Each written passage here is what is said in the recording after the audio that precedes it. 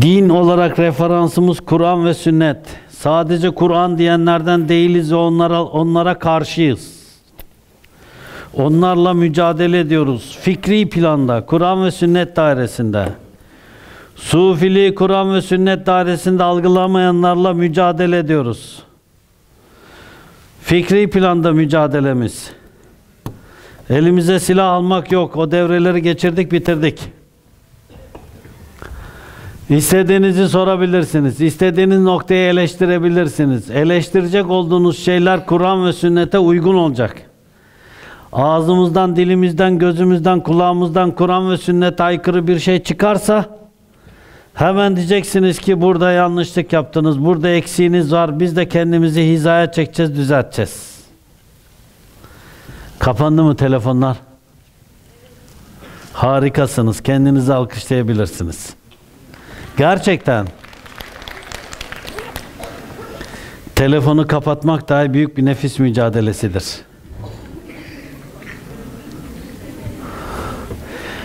Telefonu kapatmayanlar nefis mücadelesinden yenik çıkanlar. Evet. Odağınızı ya yanınızdaki arkadaşınıza verin, odak olarak. Ya konuşmacıya verin, ya gittiğiniz yola verin, okuduğunuz kitaba verin. Kendinizi bir şeye kilitleyin. Bu neyle iştigal ediyorsanız ona kilitleyin. Benim yanımda birisi telefonuna baksa, bu eşim olsa canım sıkılır. Çocuğum olsa canım sıkılır. Ben onların yanında telefonuma bakmam. Bakmam. Hakaret kabul ederim. Yani bu mesajdır. Yok işte Face'te dolaş, yok internette dolaş. Bakmam. Ha birisi aramış. Ben konumum itibariyle cevap vereceğim mümkünse. Öbür türlü bakmam. Birbirlerinize adabınız, edebiniz olsun. Ben görüyorum iki kız arkadaş oturmuş herkes telefonunda. İki sevgili oturmuş hesapta sevgililer bunlar. Ne kadar çok birbirlerini seviyorlar. İkisi de ayrı yerlerde telefondalar. Bir de soruyorum böyle fütursuzluğumda var ya sevgili misiniz diyorum ben. Evet diyor kız. Adama diyorum ki bırak bunu. Neden diyor? Sana bakacağına telefona bakıyor bu diyor. Bir kimse sevdiğinden gözünü nasıl kırpabilir bir anda?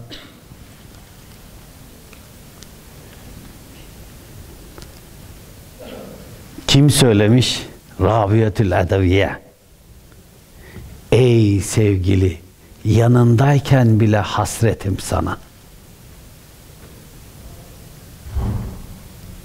Yanındayken bile hasretim sana. Bunu düşündüğünüz zaman sevmeyi bir yere oturtamıyorsunuz o zaman. Ya bir kimse nasıl bu sevgiye ulaşır öyle değil mi? Yanındayken bile hasretim sana. Bir kimse konuşurken dahi hasret olur mu? Sevmek bu. Bir kimse yanındakine hasret kalır mı? Sevmek bu. E bizimkilerin yanındaki Facebook'ta, internette dolaşıyor. O da yanında. Telefon ana öge, sevgilisi yardımcı öge. Veya erkek arkadaşı veya kız arkadaşı veyahut da eşi. Ne dersiniz deyin. Allah bizi affetsin inşallah. Karışmak değil işinize ama biraz da karışayım canım o kadar da hakkım olsun. Hakkınızı helal edin diyeceğim. Hiç ses çıkmadı ya. Kimse helal etmedi mi ya? Evet bugün konuşmayla alakalı e, bizim Cemil kardeş bir mesaj gönderdi bana. Şems ve Mevlana diye. Kendi kendime mesaja baktım. Ya böyle bir konu mu var dedim. Şems ve Mevlana diye dedim. E dedim onun da canı böyle bir şey istemiş dedim. Nerede kendisi? Dışarıda. Konuyu belirledi gitti. Ha içeride. Hem içeride hem dışarıda. Nerede orada mı Cemil? Çağırmaya gittiler.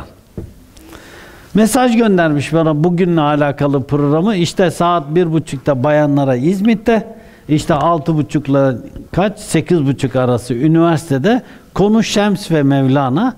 İzmit'teki konuyu da Çanakkale şehitleri olarak ayarlamış. Kendi kendime baktım Şems ve Mevlana. Dedim Şems'ten girsem Mevlana'dan çıkamayacağım. Orada kalacağız dedim. Mevlana'dan girsek dedim Şems'e ulaşamayacağız. Ama ben böyle bir kaba taslak giriş yapayım. Yine de onu kırmış, üzmüş olmayayım. Hazreti Şems tipik bir Yesevi mürşididir. Irkçılık değil, Türktür kendisi. Malum Türklerin tasavvuf anlayışının temeli Ahmet Yesevi'ye aittir. Ahmet Yesevi kopuzuyla kopuzuyla şiir söyleyerekten, hikaye anlataraktan Türk illerini dolaşaraktan onları Sufi mantalitesinde bir İslam'ı aşılar. Türklerin İslam'la tanışıkları bir Ehli Beyt'tendir. Ehli Beyt'in İslam anlayışı zaten Sufiliktir. Ve bunun üzerine Türkler Sufi standartında bir İslam'la tanışırlar. Tabi bundan sonra da işte malum e, Türkler bu noktada İslam olunca hızla kendilerini dine verirler. Daha önceki inanışlarına ters bir inanışın içinde değillerdir. Türkler hiç pagan olmamışlardır, putperest olmamışlardır.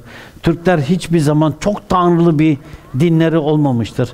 İşte Yunan Helenistik çağdaki gibi güzellik tanrıçası, yok bereket tanrısı, yok at tanrısı, ot tanrısı yoktur Türklerde. Türklerde bir tek tanrı vardır, o da göktedir. Adı da Tengri'dir. Türkler böyle Müslüman olurlar ırk olarak ve ardından da kendi içlerinden sufi noktada muhteşem sufiler yetiştirirler. Muhteşemdir bu sufiler. Kendi zamanlarına damga vurmuştur. Sufiler aynı zamanda kelamdan, aynı zamanda hadisten, aynı zamanda tefsirden ilim sahibidirler. Mesela Ahmet Yesevi aynı zamanda bir hadisçidir. Aynı zamanda akaid, kelamcıdır. Aynı zamanda Ahmet Yesevi iyi Kur'an bilgisi vardır. Arapça eserler verir. Bu kadar Arapçaya hakim bir kimsedir. Bunların yetiştirdikleri halifeler, Ahmet Yesevi'nin yetiştirdiği çok halife var, e, halifesi vardır. Bunlar bütün Türk dünyasına, bütün Anadolu'ya, bütün İslam dünyasına yayılmaya başlarlar. Türkler zaten bir yerde konup bir yerde hayat yaşayan bir e, insanlar değiller. Canları sıkılıyor. Çadırı yık, yürü. Böyle bir hayatları var. Zaten Türkler oldum olası böyle yerleşik hayattan sıkıntıya afakanlara basılmış, sıkıntıya gelmiş bir hayatları var. Sıkılıyorlar. Öyle durdukları yerde dururlarsa birbirleriyle savaşıyorlar. Birbirleriyle didişiyorlar. Devamlı Türklerin karşısına bir düşman lazım. Uzun müddet Çinliler bizden ne çektiler? Canımız sıkılınca Çin'e gittik biz. Savaştık, dövüştük, kırıştık, kızıştık. Oralardan birkaç tane hatun aldık. Geldik. Böyleydik. En sonunda dayanamadılar. Kocaman bir Çin siyeti yaptılar. Gene önlerini alamadılar. Türkler akın bir millet. Durduğu yerde duran bir yer değil. Bir ailede bir problem yoksa birbiriyle problem çıkarırlar. Böyleyiz biz. Bundan rahatsızlık duymayın. Karakteristik yapımız bu. Evde hanımın canı sıkılırsa adamla kavga eder. Adamın canı sıkılırsa kavga edecek kimse bulamazsa hanımıyla eder. Düşman yok ya karşıda şimdi bir ülke olsa o tarafa doğru gideceğiz. Olmadı biz en çok sevdiğimiz dediğimiz kimsenin gözünü başını şişirir otururuz kenara. Ondan sonra da bakarız ya bu hale nereden geldik biz ya deriz. Bu karakteristik bir özellik. Türkler böylece akmaya başlarlar. O illerden Anadolu'ya doğru gelirler. 1071 malum ve bununla beraber de ne olur? Türklerin sufi anlayışı da gelmeye başlar. Hazreti Mevlana Celaleddin Rum Hazretleri babasıyla beraber Belh'ten gelir Mekke, Medine, Şam, Bağdat dolaşaraktan Konya'ya yerleşir. Babası vefat eder. Babası vefat ettikten sonra babasının e, halifesine intisap eder. O da vefat eder. O da vefat ettikten sonra Hazreti Mevlana'ya derler ki işte kürsüye otur, burada derse devam et. Hazreti Mevlana tipik bir mürşittir, üstattır. Ama ve lakin henüz daha Hazreti Şems'e tanışmamıştır. Hazreti Şems'e tanışmadığından babasının klasik çizgisinde gitmektedir. Babasının klasik çizgisi o güne kadar mevcut olan skolastik din ve tarikat anlayışıdır. Biraz eleştirel bakıyorum ben bu noktaya. O yüzden de beni eleştirirler. Hazreti Şems. Hazreti Şems de kendisi Tebriz'de doğduğu söylenir. Tebrizli lakabı o yüzdendir. Tebriz'de de böyle anlı şanlı mürşitlerden değil, işte bir bazı kayıtlarda kalenderidir. Bazı kayıtlarda kadiridir kendisi. Ama Hazreti Şems tipik bir sufidir belirli bir tarikat anlayışında oturmuş skolastik bir tarikat anlayışı yoktur Hazreti Şems'te. Rivayet edilir Hazreti Şems çok yalvarır ya Rabbi bana bir öyle bir kimse bana nasip et. Ben o kimseye bu ilmi aktarayım, onu anlatayım, onu bu noktada irşad edeyim diye yalvarır. Yalvarınca Hazreti Mevlana'yı rüyasında görür. Hazreti Mevlana'yı rüyasında gördükten sonra onu aramak için yola koyulur. Şam'a gelir. Şam'da bir rivayet zamanın kutbuyla konuşur, görüşür. Zamanın kutbuyla görüştükten sonra o da der ki vazife seni bekliyor. Vazifenin yapılacağı yer Konya. Git der Konya'da Hazreti Mevlana'yı bul ve ona aşk yolunu anlat. Çünkü Hazreti Pir'in yani Şemseddin Tebrizi'nin yolu bu manada skolastik bir tarikat anlayışı ve yolu değildir. Hazreti Pir gelir Konya'ya, sorar nereden gelir, nereden geçer diye. Onlara da derler ki ona işte bu yoldan geçer. Nerede kendisi? Şu anda Meram bağlarında işte yaz günü talebeleriyle sohbet ediyor serinlikte. Öğlenden sonra akşamüstü geceye doğru işte gün kararmazdan önce bu yoldan geçer der, bekler. Hazreti Mevlana bineğin üzerinde talebeler arkasında Konya'ya e, giriş yaparlar. O da bekler. En sonunda önden geçerken der ki sorun var. Yanındaki halifeler, talebeler derler ki yolda soru sorulmaz. Soru medresede sorulur.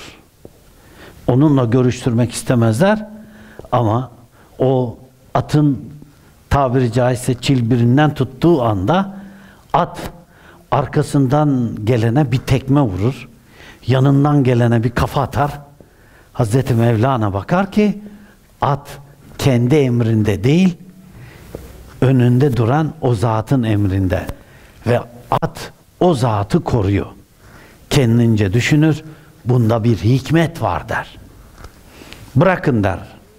Etrafındakileri bırakırlar. O meşhur soruyu sorar. Der ki Hazreti Resulullah sallallahu aleyhi ve sellem Hazretleri hakkıyla sana kulluk edemedim ya mabut derken onun ümmetinden beyaz iste bestami var mı benden şanı daha yüce Bugün kahhar da benim, cabbar da benim diyor der. Der ki Hazreti Mevlana, e, Hacı Bey e, özür dilerim. Beyazıt Bestami mi yüce? Yoksa Muhammed Mustafa mı yüce? diye soruyu sorar. Sorunca Hazreti Mevlana Celaleddin Rumi Hazretleri soruya bakar, adama bakar, normal değil attan iner. Bineğinden iner. Der ki gelir yanına. Der ki Beyazıt Bestami Hazreti Peygamber sallallahu aleyhi ve sellem hazretlerinin ümmetiydi. O bir kadeh içti. Var mı bana yan bakan dedi. Ama Hazreti Peygamber sallallahu aleyhi ve sellem hazretleri derya gibiydi. İçtikçe içti, içtikçe içti, içtikçe içti, yok mu daha dedi. Deyince Hazreti Şems aradığını bulduğunu anlayınca Allah dedi bayıldı. Bayılınca aldılar talebeler Hazreti Şems'i kucakladılar götürdüler dergaha dergaha yatırdılar ayılsın diye beklediler. Bir rivayette sabaha karşı ayıldı. Bir rivayette dergaha gitti, dergahta ayıldı. Ayıldıktan sonra Hazreti Mevlana Celaleddin Rumi Hazretleri ile sohbetler başladı. Hazreti Şems Hazreti Mevlana'ya nefis meratipleriyle alakalı bir öğretide bulunmadı. Ama Allah alem Hazreti Şems Hazreti Mevlana'ya ruhun sülukunu öğretti. Kalbin meratiplerini, kalbin sülukunu öğretti. Yani bir nefisle mücadele vardır. Bu nefisle mücadele tarikatların işidir. Emmare levvame mülhüme mutmainne radiye mardiye safiye noktasında nefsi terbiye ederekten bu nefsin makamları ve dereceleridir. Bir de kalp vardır. Kalp ayağı vardır. Kalbin sülükü vardır. Buna biz yakinlik noktasından bakarsak ilmel yakin, aynel yakin, hakkel yakin noktası diyebiliriz. Ve hatta e, bunu bütüncüllüğünü, bütünlüğünü alacak olursak Yesevi'nin bu noktada öğretisinden şeriat, tarikat, hakikat, marifet olarak nitelendirebiliriz. İşte Hazreti Şems Hazreti Mevlana'ya bu noktada hakkel yakinliğin tecelliyatını, kalbi seyri sülükün tecelliyatını öğretti diyebiliriz. Tabi Hazreti Şems'in bu noktada durduğu yer skolastik tarikat anlayışında değildir. O zamana kadar meşhur olan Kadiri tarikatı vardır. Meşhur olan Rufai tarikatı vardır o bölgede. Meşhur olan Nakşibendi tarikatı vardır o bölgede. Daha henüz e, normalde bu noktada diğer tarikatlar gelişmemiştir. Hazreti Şems'in daha doğrusu eski sufilerin durdukları nokta bugünkü anlamda skolastik tarikat anlayışında değillerdi. O yüzden onların da skolastik olarak bir tarikat anlayışları yoktu. Hz. Mevlana kendisi her ne kadar e, Halidi koldan Kadiri Nakşi de olsa sonra da Mevlana'nın zaten Kadiri Nakşi noktası da kalmamıştır. Böyle bir giriş yaptıktan sonra sorularınızı yazıp göndermişsiniz. Buradan biz devam edebiliriz. İstediğiniz soruları da sorabilirsiniz. Geçen sefer geç kaldık. Bu sefer geç kalmayacağız. Saat kaç? Sekiz buçukta mı bitireceğiz dedik. Nerede Cemil gene ya? Sekiz buçukta mı Cemil bitireceğiz? Allah razı olsun ya. Ne kadar cömertsin. Rüyada yılan neye yorumlanır? İşte biz de bu tip sorulara cevap vermekte güçleniyoruz biz. ben kendimi Wikipedia gibi göreceğim böyle giderse. Şimdi rüyaların kendi içlerinde hem görenle hem yoranla arasında farklılık vardır. Şimdi ben burada yılanı rüyada yorumlama açısından bir girersem burada sabah ederim. Bir tek yılanda. Hepiniz yılanı kötü olarak görürsünüz. Bütün rüya yorumcuları veya siz gitseniz baksanız var ya internette dolaşıyormuş böyle e, işte rüya yorum kitapları filan. Baktığınızda yılanın hepsinde olumsuz görürsünüz değil. Rüyada yılan neye yorumlanır? Yılanın rengi. Önce yılanın rengi lazım bana. Çünkü siyah yılanın yorumu ayrı, yeşilinki ayrı, beyazınki ayrı, sarısı ayrı, pembesi ayrı, kırmızısı ayrı. Yılan dediğinizde yılanın görüntüsü ayrı. Gören kimsenin konumu da ayrı. Bunu ancak manevi olarak rüya yorabilme yetisine sahibi olan bir kimse anlayabilir. Bu rüya işi kitapla olacak bir şey değil. Yunus aleyhisselam, Yusuf aleyhisselam rüyayı gördü. Yakup aleyhisselama geldi.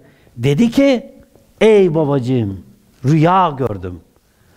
Rüyamda 12 tane yıldız, ay ve güneş bana secde ediyordu.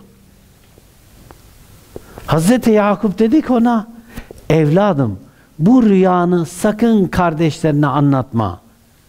Çünkü şeytan apaçık insan oğlunun düşmanıdır. Bunu kim yordu sonradan? Yine İslam uleması yordu. Dediler ki 12 yıldız 12 kardeşe işaret. Ay halaya işaret. Güneş ise Yakub'a işaret. Kur'an'da bunun yorumu yok. Çünkü rüya bu her ne kadar gören kimseye bağlarsa da misal alemiyle alakalı. Bu tasavvufi bir derinlik. Misal alemi dediğimiz şey ruhlar aleminden veyahut da lef-i mahfuzdan suretsiz zuhur eden olayların veya şahısların veya bireylerin misal aleminde farklı ritüellerle, farklı görüntülerle, farklı noktalarla tecelli etmesi. Yani misal aleminde rüyada yıldız, şehadet aleminde kardeşe işaret. Misal aleminde o günkü rüyada ay, şehadet aleminde dünyada halaya işaret. Çünkü Yusuf aleyhisselam halasının yanındaydı. Halası bakıyordu onu. Bakın misal aleminde görünen güneş şehadet aleminde dünyada Yakub'a peygambere işaret. Şimdi bu kardeş rüyada yılan neye yorumlanır dediğinde gelin siz çıkın işin içinden. Bunu normalde ben şimdi desem ki nefse yorumlanır. İyi kardeş. O, o kimse beyaz yılan gördü. Sarı gördü. Yeşil yılan gördü. Şimdi okudular. Telefonlarınızı açmayın da akşam eve gittiğinizde yazın. Rüya yorumu. Yılan yazın. Yılanla alakalı size bir sürü bilgi gelecek. Benim söylediğimi hiç kimse hiçbirisi de yazmayacak. Aklına getirmeyecek. Neden? Çünkü buna ehliyetleri yok.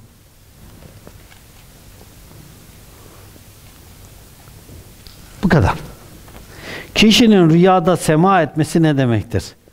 Bu hayra işaret. Allah yesin inşallah. Sema etmek, sema bu manada Allah'ı zikir dairesidir. İnşallah o kardeş de zikreder. Kur'an-ı Kerim'de kafirlerle dost olmanız ile ilgili bir ayet var. Peki ateist olan arkadaşlarımızla ilişkilerimiz nasıl olmalı? Kafirlerle dost olmama devletle alakalıdır. Sistemle alakalıdır. Siz bir İslam devleti kurarsanız bir kafirle dostluk kuramazsınız. Antlaşma yapabilirsiniz.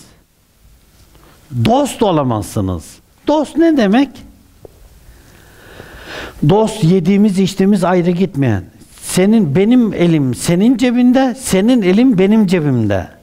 Yarın dudağı hariç her şey ortak. Dost bu.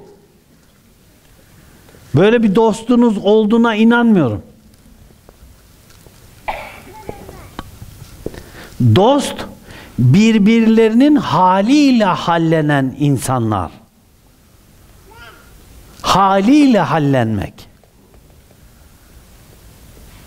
Kişi Hazreti Peygamberle dost oluyorsa sallallahu aleyhi ve sellemle onun haliyle hallenecek. Dost bu. Kişi Allah'la dostluk kuruyorsa onun haliyle hallenecek. E o mm, soyut kavram Hazreti Allah onu somuta döndürdü. Ne dedi? Allah'ı zikredenler için Hazreti Peygamber'de sallallahu aleyhi ve sellem de güzel örnekler vardır. O zaman onun haliyle hallenmek demek Hazreti Peygamber sallallahu aleyhi ve sellem Hazretlerinin haliyle hallenmek demek. Çünkü sünnetin üç veçesi var. Bir, kal. Şöyle dedi. Bu güzel.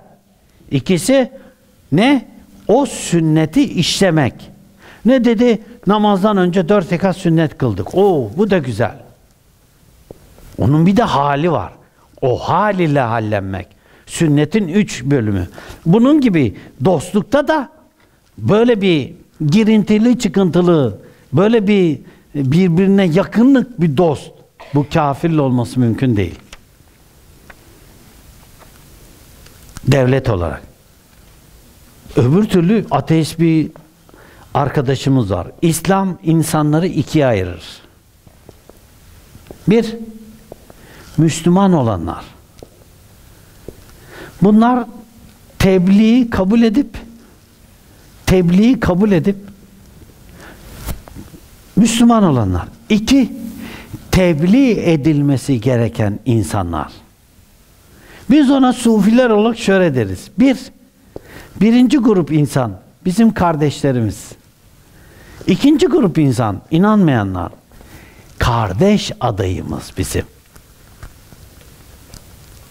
Kardeş adayı. Onu dövemezsiniz, sövemezsiniz, hakaret edemezsiniz. Onunla tatlı tatlı oturup konuşup ona ne yapacaksınız? Tebliğ edeceksiniz. Tebliğ edeceksiniz. Kızmak yok, hakaret etmek yok. Tebliğe ihtiyacı var onun. O ateist olmakta da haklı ha. Empati yapın, bir dinleyin bak onu. Bir dinleyin onu. O gitmiş bir para üten, pul üten, dinini kendine oyuncak eden, dinini kendine alay konusu eden, dindarlığının arkasına sığınıp her türlü fitne fücürü, her türlü yanlışlığı yapan bir kimsenin eline düşmüştür o. Demiştir ki ya din böyleyse ben dinsizim. Karşımızdakiyle empati yapalım. Ne yaşadığını bilmiyoruz ki biz onun. Ne yaşadığını bilmiyoruz. Neyle karşılaştığını bilmiyoruz. Din adına ona ne öğretildiğini bilmiyoruz biz. Sonuçta bu toplum beni dahi taşlıyorsa millet benim küfrüme fetva veriyor. Bakıyorum Allah'ım diyorum ya bir tane Kur'an ve sünnet aykırı bir şey mi söyleseler benim muhakkak vardır da onlara denk gelmemiştir. Ama öyle denk geldiğinde söylese desem ki ya denk gelmiyor. Yo harika. O yüzden empati yapın. Ateist kardeşlerle de konuşun. Sohbet edin. Onlarla çatışmayın. Kavga etmeyin. Ya onlarla konuşulmaz. Doğru değil. Doğru değil. Konuşacağız. İnşallah. Köpek bulunan eve melek girmezmiş. Hemen aklıma geleni bu arkasına yazmış. Ben de diyecektim herkes evinde bir köpek dolaştırsın. Ölümsüzlüğü yakalasın diyecektim. Yazmış Azrail de bir melek. Evimizi köpeklerle doldurursak ölümsüz olmaz mıyız demiş. Senden başka uyanık yok. Buradaki herkes embesil, sen haklısın. Olur. Melekler değildir hadisin metninde. Hadisin metni şöyledir. Rahmet melekleri girmez. Hadisin metni rahmet melekleridir. Hadisin metni melekler değildir. Meleğin girmediği, meleklerin girmediği hiçbir yer yok. Bu soruyu soran arkadaş da dahil. Onun da içine giriyor. O istese de istemese de melekler onun içerisinde cirit atıyor. Çıkar hadi melekler içinden.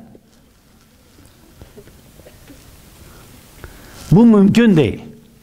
Evet. Normalde köpek beslenen ev dediğinde bu normalde bu rahmet melekleri girmezler hadis-i şerif. Ben hadis-i şeriflerin üzerinde çok tartışmak istemem. Olduğu gibi kabul ederim. Mesela bir kimsenin korunma maksadıyla, koruma maksadıyla malını, tarlasını, bağını, bahçesini köpek beslemesinde cevaz vardır. Evinin içerisinde, odasında besleyemez kimse. Evinin içinde besleyemez. Bahçesinde besler. Bunda sıkıntı yok. Dükkanı var, güvenlik amacıyla besler. Bunda sıkıntı yok.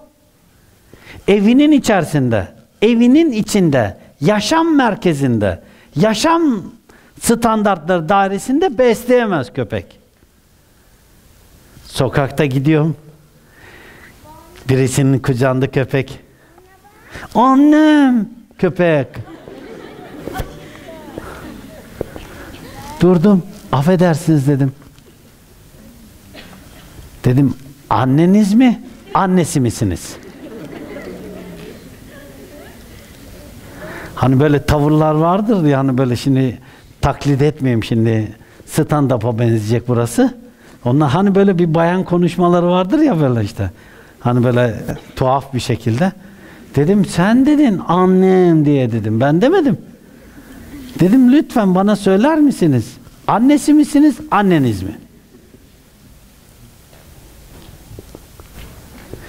İnsana merhamet etmeyen, annesine merhamet etmeyen, komşusuna merhamet etmeyen, sokağındaki fukarasına merhamet etmeyen, köprünün altında yaşayanlara merhamet etmeyen, çıplağını doyurmayan, çıplağını giydirmeyen, açını doyurmayan, yetiminin başını okşamaktan uzak olan, vicdansız, merhametsiz, dine, insanlığa saygısız insanlar bu vicdani rahatsızlıklarını evinde bir balık bakmakla, kucağında bir köpek hoplatmakla, bir tane kuşa yem vermekle bu sorumluluğun altından kalkamazlar.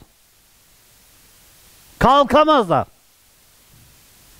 Sen o köpeğe besleyecek kadar paranı gitsen bir fukaraya versen vallahi cennetlik olacaksın.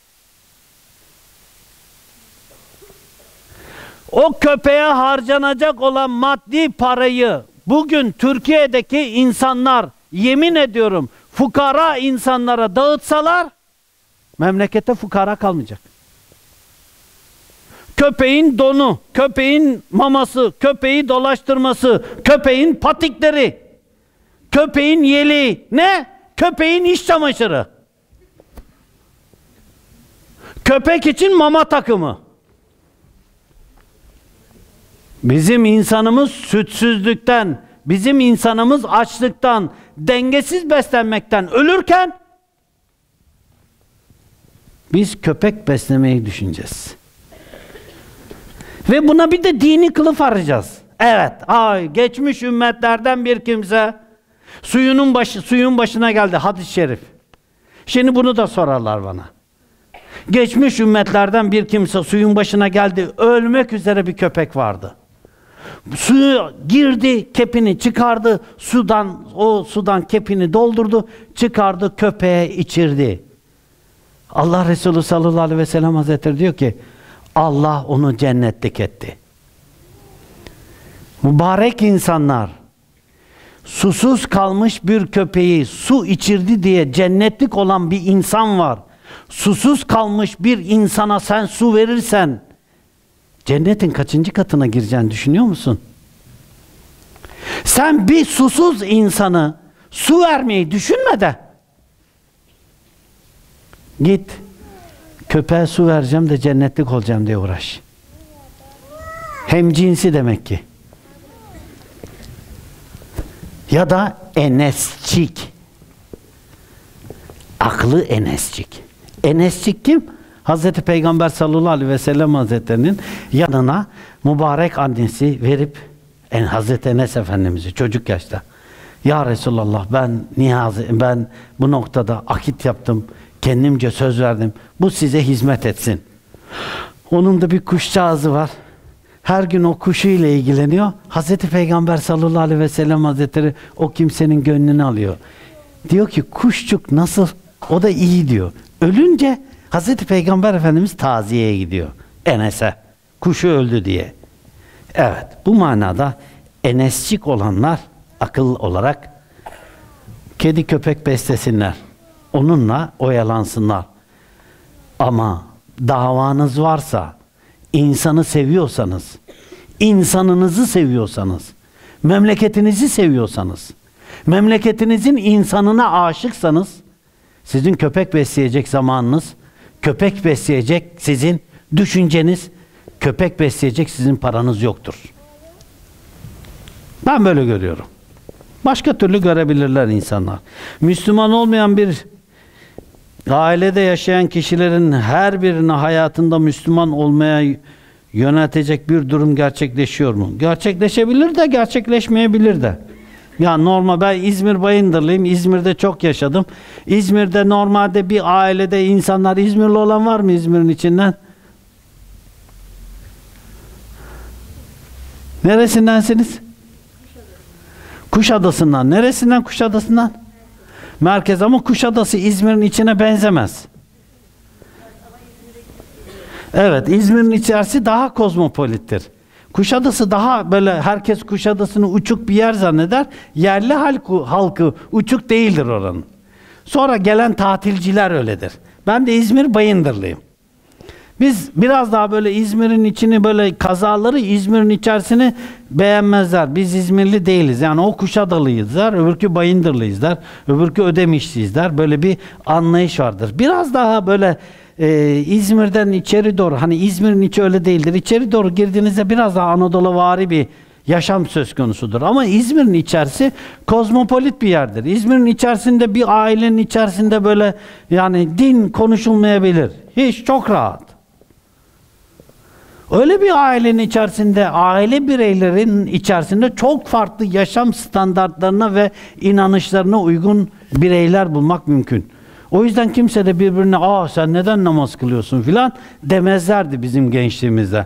Ama çok böyle e, ne bileyim ya anormal protipleri görmeniz mümkün.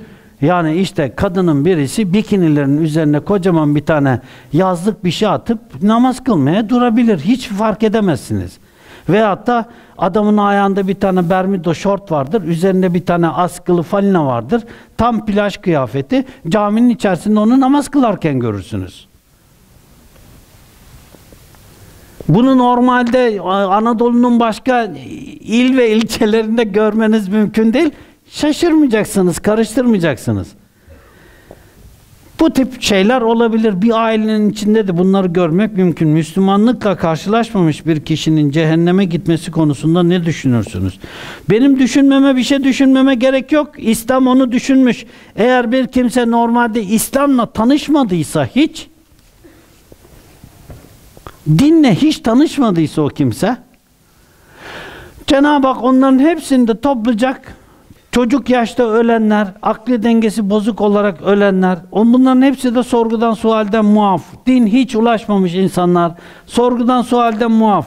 Bunların hepsi de cennetin birinci katına, cennetin birinci katında İbrahim Aleyhisselam onları hepsinde din anlatacak. Onlar o din anlatılan dinden idraklerine göre cennetin diğer katmanlarına tekrar dağıtılacaklar. Bir restoranda çalışıyorum. İşlerin mükemmel olmasını istiyorum.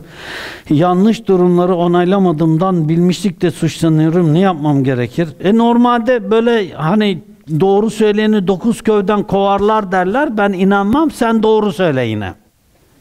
Bilgiçlik yapmak ayrı bir şeydir. Doğruyu anlatmak ayrı bir şeydir. Biz doğruyu, iyiyi, güzeli nerede bulunursak bulunalım biz anlatmaya gayret edeceğiz.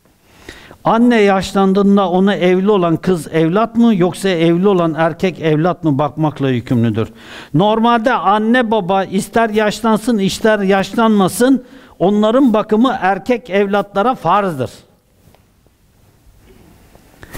Evlenmiş olan kadın kadın evlatların bakmaları farz değildir. Vacip de değildir.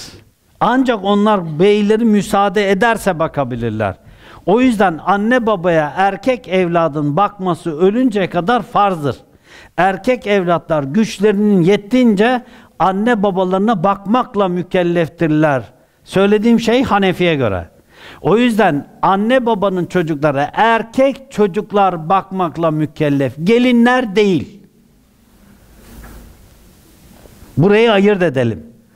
Erkek çocuklar bakmakla mükellef, erkeğin hanımı değil. Ya nasıl bakacak? Erkek nasıl bakması gerekiyorsa bakacak, gelin bakmayacak. Anadolu'da ters bir uygulama var. Bizim toplumumuzda ters bir uygulama var. Bu din olarak dayatılıyor. Din değil bu. Dinin hükmü değil. Bizde gelenek şu. İşte gelin bakıyor kayınvalidesine, kayınpederine. Bu bir gelenek. Bu dinin hükmü değil. Ayırt edelim. Bir kadının dinin hükümleri dairesinde kocasından hayat hakkı tanıma, hayatı yaşamayı istemeye hakkı var. Erkeklerin eşlerinden istedikleri Kur'an ve sünnet içerisinde kalacak. Kadınların da kocalarından isteyecekleri Kur'an ve sünnet dairesinde kalacak. Bu noktada erkeğe farz, erkeğin hanımına değil. Tabi bu kadın hakları savunucuların işine gelir ama dinden diye kabul etmezler yine.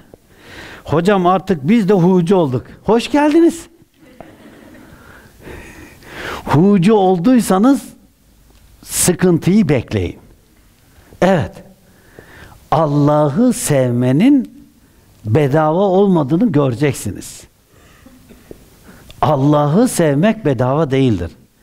Allah'ı zikretmek ayeti kerimeyle en büyük iştir. Siz o en büyük işi yaparken şeytan ve avanesi sizi rahat bırakmaz. Rahat bırakmaz. Sakın sufi olacağım her şeyim rahat edecek diye düşünme. Sufi olmak Allah'ı zikretmek imtihanlara açık alan olmaktır. Böyle yol anlatırlar bazen. İşte sen gel bir dergaha gir, her şeyin düzenine gidecek. Ben arkadan bağırıyorum. Yalan. Neden? Hiçbir dergaha, gerçek bir dergaha giren bir kimsenin işleri düzgün gitmez.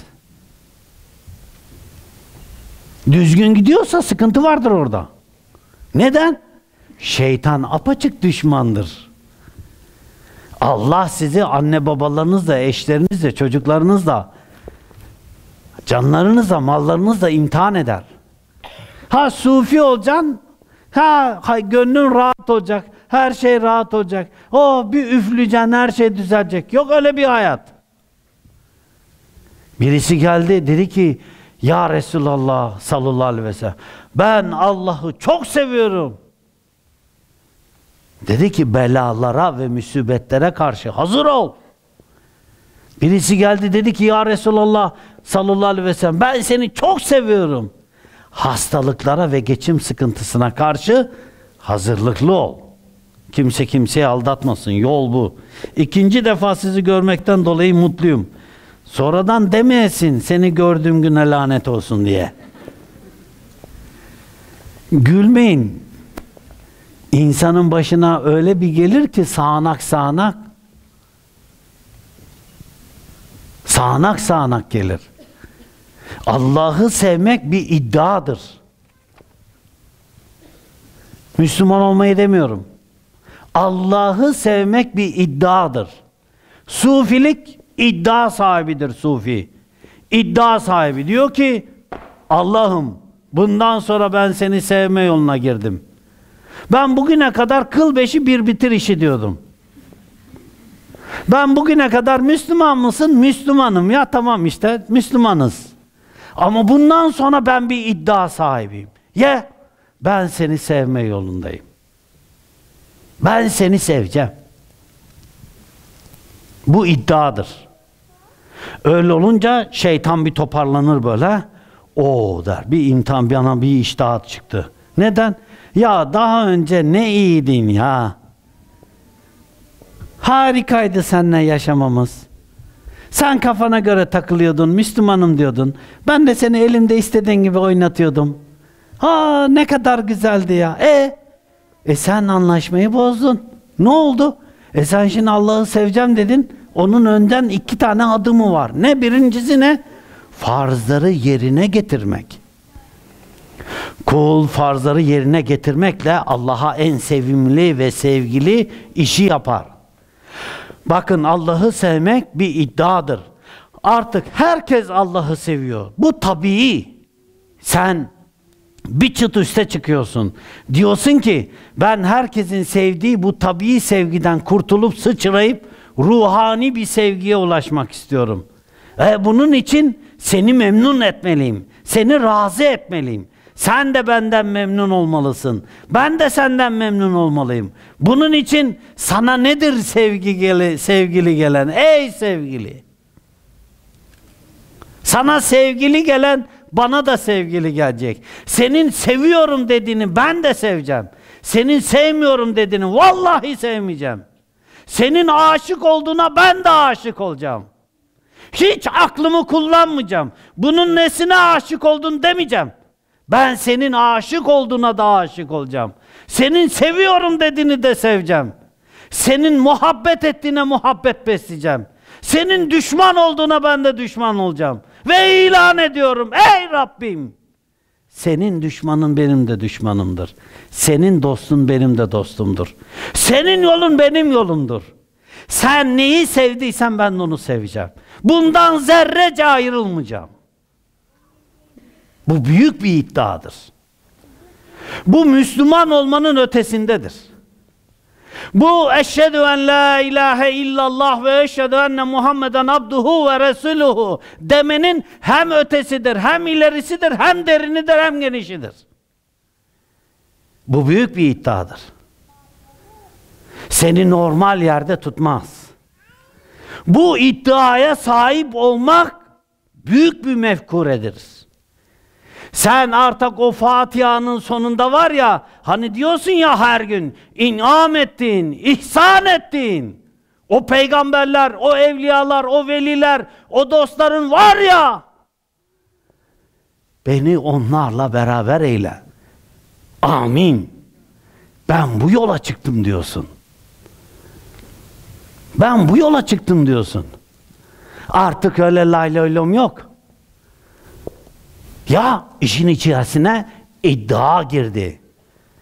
Seni seviyorum demek büyük iddiadır. İster bireyler birbirlerine desin. Bir erkek bir kadına, bir kadın bir erkeğe, bir anne baba çocuğa, bir çocuk anne babaya desin. Tabii sevgi herkes de var.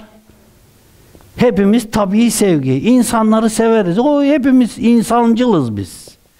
Harika. Hayvanları seviyoruz, otu çöpü seviyoruz, köpeği seviyoruz. Annem diyoruz köpeğe. Harika. Harika. Sevdiğini razı etmek, ruhani sevgi. Sevdiğini razı etmek.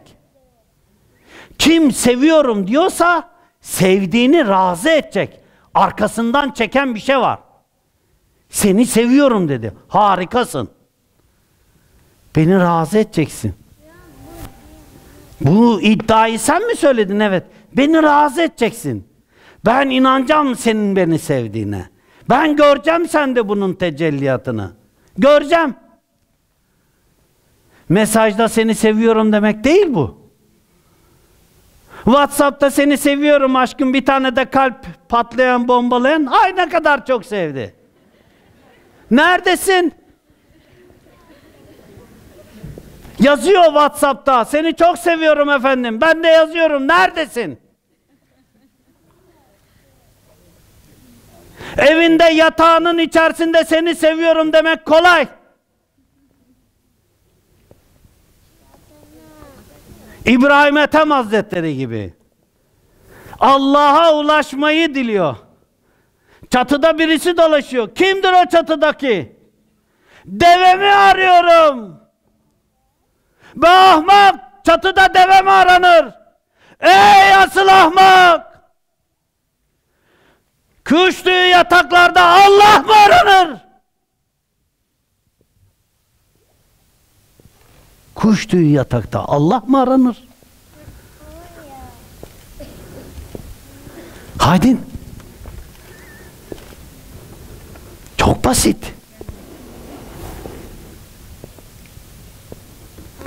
Daha derine. Birinci adım ne? Allah'ın farzlarını yerine getirmek. Lafta değil. Lafta değil. Bu ibadet kısmı var. Bir de var ne var? Haram kısmı var. Lafta değil. Zaten ibadetleri herkes ediyor. Camiler dolu, örtülüler dolu, sakallılar dolu, cübbeliler, sarıklılar, şalvarlılar dolu. Herkes ibadet ediyor. Bir sıkıntı yok. Haramlardan uzak durma. Sıkıntı burada. Hocam yılbaşı geldi bir kadeh içsek caiz mi?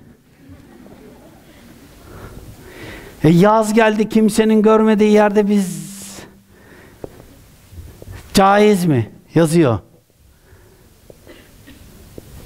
Bunları yazıyor. Ben diyorum alışveriş merkezlerinden içerisi, içerisine girmeyin. Dakika bir gol bir herkes çıkıyor. Ne yani? Hayır girme.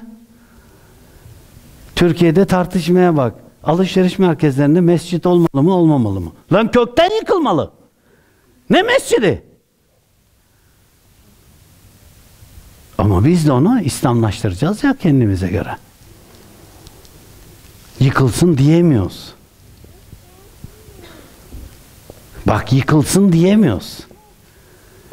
Hepimiz çok iyi solcuyuz, hepimiz çok iyi ülkücüyüz, hepimiz çok iyi dindarız, hepimiz çok iyi sufiyiz. Bana hafta sonunu nerede geçirdiğini söyle. Bana hafta sonunu nerede geçirdiğini söyle. Bana bir kilo şeker almak için kilometrelerce hangi alışveriş git merkezine gittiğini söyle. Bana bir tane çorap almak için nereye gittiğini söyle. Ben senin dini aktiviteni, solculuğunu, sağcılığını, ülkücülüğünü, türkücülüğünü söyleyeyim. Çok basit. Allah'ı seviyorsun. Harikasın. Sakın bana Hilton'da o, e, ne o ömre yaptığını söylemeyiniz. Şeyh Efendi Hazretleri'yle ne muhteşem bir ömre yaptık. Harikasınız maşallah. Vallahi öyle bir feyiz oldu. Öyle bir şey oldu. Harika maşallah ya. Neredeydiniz? E mübarek yani normal yerlerde kalır mı? Hilton'daydık. Ne? Hilton'daydık. Elimi omuzuna koyuyorum. Allah mübarek etsin diyorum ben ama yani nasıl olacak şimdi bunu bilemiyorum diyorum ben. Nasıl ya işte diyorum Hazreti Peygamber sallallahu aleyhi ve sellem Hazretlerinin sağ olduğunu düşün. Beraber ömre yapıyorsunuz. Hilton'da dünya çapında oteller zinciri ya. Kapısından içeri girer miydi acaba? Tasavvur et. Önde Hazreti Peygamber, sen arkasındasın. Hilton'a girer miydi? Girerdi desen, dersen şeyhinle beraber çok mübarek bir ömre yapmışsın. Girer miydi? Girmezdi. Ha iyi. Maşallah ne sufilik ya. Lafta hazır. Müslüman her şeyin en iyisine layık. İyi.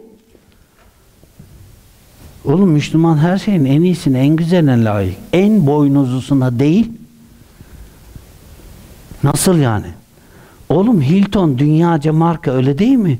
Otelleri de dünyaca marka öyle değil mi? Bu ne bu? Ne bu? Ne isim geliyor bize? Sufi olmak. Hazreti Peygamber sallallahu aleyhi ve sellem Hazretlerinin haliyle hallenmek. Zulmetmezdi. İslam'a açıktan savaş açanları dost edinmezdi. Birisi haliyle, sözüyle, davranışla açıktan düşmanlık yapıyorsa onu dost edinmezdi, ona nasihat ederdi, ona tebliğ ederdi, ona anlatırdı.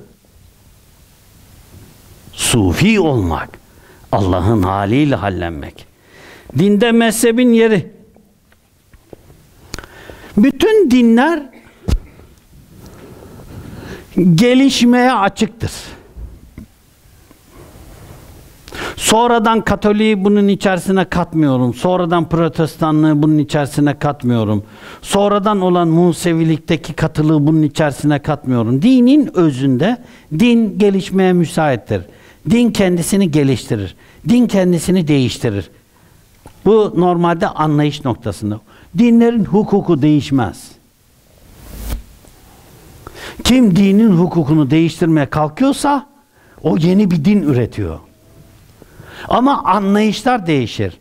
Amellerde, amellerde farklılıklar kolaylaştırma adına zenginlikler olabilir. Bunun adına mezhep deriz biz. Özünde, hakikatinde birdir mezhepler. Bunu ister ameli mezhepler olarak koyalım. Ameli mezhepleri konuşuyorum. Ama itikadi mezheplere dikkat etmekte fayda var. Ameli mezheplerde bir sıkıntı yok. Türkiye'de hep ameli mezhepler konuşulur. Şafii, Maliki, Hanbeli, Hanefi mezhepleri. Bunlar konuşulur. Bunları normalde dört olarak biliriz. Dört değil. 33 tane böyle ameli mezhep vardır. Dört tanesi çok ayakta kalmıştır. Ama asıl sıkıntılı itikadi mezheplerdir. Burada bu kardeş mezhebe bağlı olmanın olmamanın durumu demiş. Bu normalde mezheplerle alakalı. Bir kimse çok iyi biliyorsa bütün mezheplerin veyahut da Kur'an ve sünneti iyice kendisi hıfzetmiş. Ben bunu böyle amel edebilirim noktasındaysa onun mezhebe ihtiyacı yok. Kendisi mezhep olmuş onun. Nasıl mezhebe ihtiyacı yok? Bir noktada dört tane hadis-i şerif var bir meselede. Dört hadis-i şeriften birisini kendisine ölçü almış, birisini kendisine ölçü aldıysa o kendi mezhebini oluşturuyor. Veyahut da onun bir hocası var, şeyhi var, üstadı var, bir abisi var, ablası var, dedesi, nenesi var. Demiş ki bu doğru, o da onu kabul etmiş. O kim? İşte X kimse. O mezhep kurmuş yeni. Yani ben mezhebe bağlı değilim diyen gençler var ya böyle bir fraksiyon gibi çıkıyorlar. O hoş geldin seninki de mezhep diyorum. Neden birini aldın mı sen bunu kendine ölçü olarak? Aldın. Hazreti Peygamber sallallahu aleyhi ve sellem hazretleri namaz kılarken namaz kılarken bir böyle tam göbek deliğinin üzerinde bağladı. Bir böyle bağladı. Bir de sarkıttı.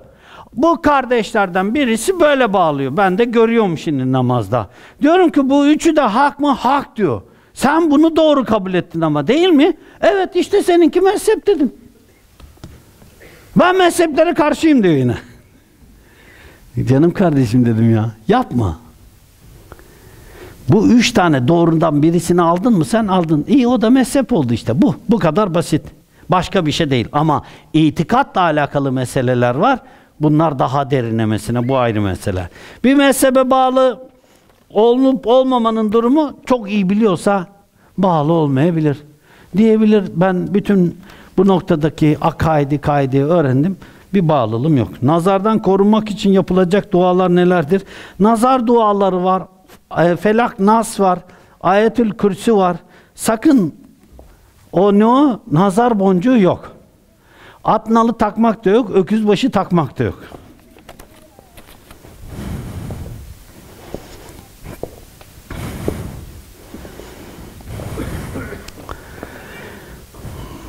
Okuyayım mı? Ben şimdi benim yaklaşık 28 yıldır sohbet ederim. 28 yıldır da bana sorular gelir. Ben beni eleştirenler de dahil okurum. O kadar açıkımdır. O yüzden okuduklarıma yanlış anlar. Bazen de yazıyorlar içinizden oku. Nama gönderdin o zaman diyor. Burası içimden okuyacağım yer değil. Evet. Sevgilim kapalı. Parantez içerisinde türbanlı. Ama makyaj yapıyor. Topuklu ayakkabı giyiyor. Ben laf edince de üzülüyor. Ne yapmam gerekiyor? Sevgilin değil. Neden? Seven sevdiğine kör ve sağırdır. Hadis-i şerif. Sevdiğinizin kusurunu görüyorsanız o sevgiliniz değil. Ne? Bu aklın olgusu. Akıl ne yapar? Hadis-i şerif. Bir hadis-i şerif daha. Düşmanına ölçülü düşmanlık et. Yarın öbür gün dostun olabilir. Sevdiğini ölçülü sev. Yarın öbür gün düşmanın olabilir. Bu da yol mu? Bu da yol. Bakın iki tane ölçü çıktı. Bir, bir seven var. Sevdiğine karşı gözü kör ve sağır. Bir de seven var bakıyor. Senin buranda kusur var. Neden? Burayı düzelt. Ha tamam. O da öyle seviyor. Ama onunki aklın sevgisi. Bakın aklın sevgisi. Evet benim bu kendi şahsi duruşum. Kadınların bu açık kapalı değişen bir şey yok. Dışarı çıkarken makyaj yapmalarına ben karşıyım. Kendimce. Bu bak- bakın kendi dairemi anlatıyorum. Din anlatmıyorum. Din, din de kadınların dışarı çıkarken makyaj yapmalarını yasaklar. yasaklar. Dinin olgusu bu. Kadınların dışarı çıkarken başkalarına süslenmesini yasaklar. Kadının süslenmesini yasaklamaz. Ama bizim toplumumuzda genel açığıyla kapalısıyla yaşayanla yaşanmayanla alakalı genel bir yer var. Adam çalışır, çabalar, hanımına harçlık verir. Git der istediğini al, hanımı harika bir işte kıyafet alır. Önce adama giyinmez. Adama giyinirken bir bakmışın ki eşofmanın yanına ne o çamaşır suyu bulaşmış. Burada çamaşır suyu var. Kafayı böyle kaldırmış. O günkü yemeği kadının kokusundan anlayabilirsin. Kokladın. Aa kuru fasulye pastırmalı bugün.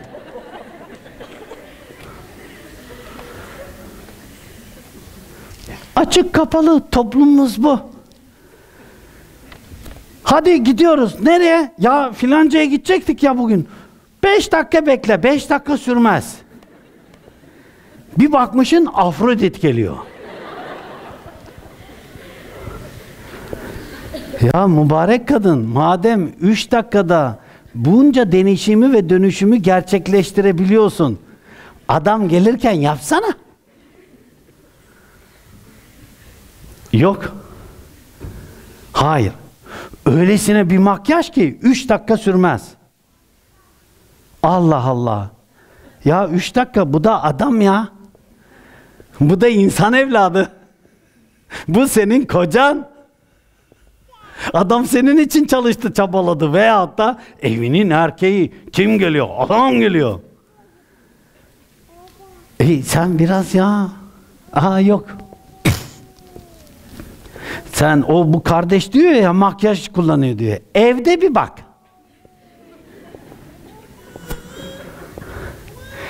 Makyajsız halini evde göreceksin. Belki de için kalkacak o zaman.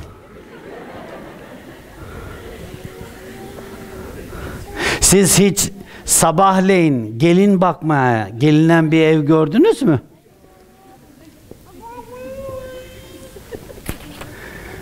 Dayımın oğlunu evlendirecek dayımlar. Dayımın oğlunu meşhur bir dayımın oğlu var. Herkes tanıyor arkadaşlar. Dayımda bir pancar motorundan bozma, bir onda bir motor var. Çat çat çat çat çat çat sabahleyin bir gün geldi çok gürültülü böyle. Bağırıyor.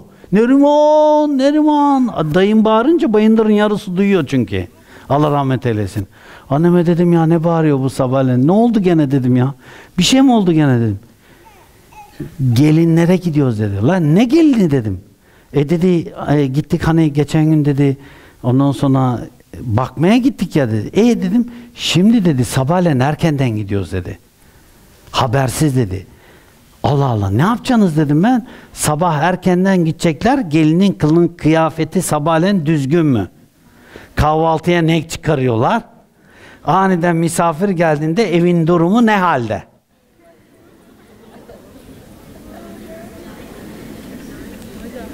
Çöktünüz mü?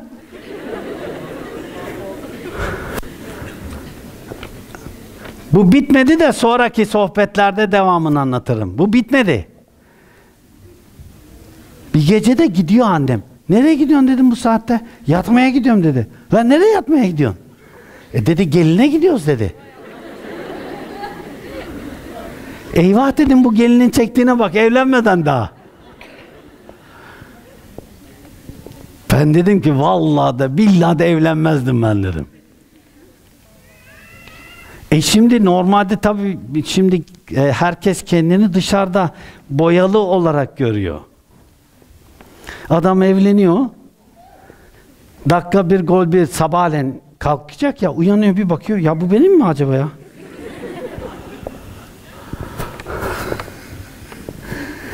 e şimdi adamlar da öyle oldu. Bana soruyorlar erkeklerin süslenmesi caiz mi? Şimdi dinen caiz. Diyorum ki caiz. Ardından sorunun ikinci tarafı geliyor. Göğüs kıllarını yoldurmaları caiz mi? Ben okuyorum ya. Diyorum bunu erkek mi yapıyor? Erkeğin fıtratında diyorum yoldurması, temizlemesi gereken yerler belli. Koltuk altı ve kası. Erkeğin tüylerinden, kıllarından aranacağı iki yer var. Koltuk altı ve kası. Geri kalan fıtrat yolunmayacak, kesilmeyecek, kazınmayacak. Erkek fıtratı. Şimdi biz gülüyoruz. Göğüs kıllarını kestirdi. Aa, sen de yanağını kestiriyorsun. Yanakla göğüsün arasında erkekte bir fark yok ki. Bize yutturdular fark varmış gibi. Biz şimdi göğüs kıllarını kesmemeyi erkeklik. Adam göğüs kılını keser mi? Ha kesmez. Adamın kesmeyeceği bir şey daha var yalnız. Ne? Yanak kılları. Evet. Hiçbir peygamber sakalsız değil. Allah Adem'i sakallı yarattı. Göğüs kıllarına güldüğünüz kadar sakala gülmediniz sakalsızlığa. Neden? Algı yerleştirdiler içimize. Şimdi ikinciyi yerleştiriyorlar. Ne? Göğüs kıllarını yerleştiriyorlar. Üçüncüsünde bacaklarımızı yerleştirecekler. Ağdalı adamlar göreceğiz. Gülmeyin var. Ben gülmüyorum. Bu bir hastalık. Dördüncüsünde muz gibi soyulmuş, pırıl pırıl olmuş adamlar göreceğiz.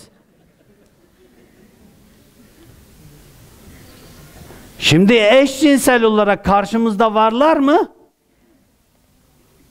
Varlar. Varlar.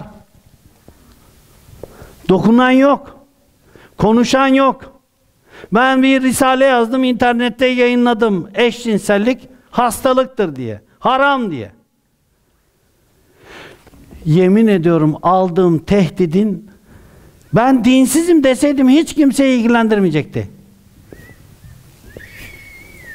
Hiç tehdit etmeyeceklerdi. Ben eşcinsellik haramdır, cezası da ölümdür deyince ortalık yıkıldı. Tabi ölüm fermanının kimin verdiğini bilmiyorlar ya. Birisi de Hazreti Ali Efendimiz'den dem tutaraktan söylemiş. Ben de yazdım. Dedim cinca, din cahili oldunuz. Buradan belli. Ölüm fermanını veren, ölüm fıkhını veren, ölüme iştahat eden Hazreti Ali Efendimiz dedim. Başkası da değil. Allah'tan hakkıyla nasıl korkulur? Haramları işlememekle. Allah neden Kur'an'da bizler tevazuyu bize emrettiğini göstermek için. Muhteşem. Eski sevgiliden arkadaş olunur mu?